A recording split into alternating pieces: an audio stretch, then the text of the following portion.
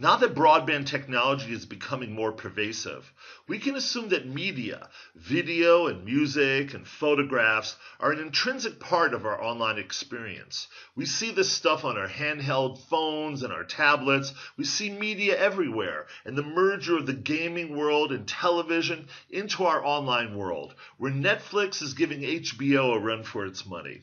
So obviously being able to control media and being a media production person is a key job of the future.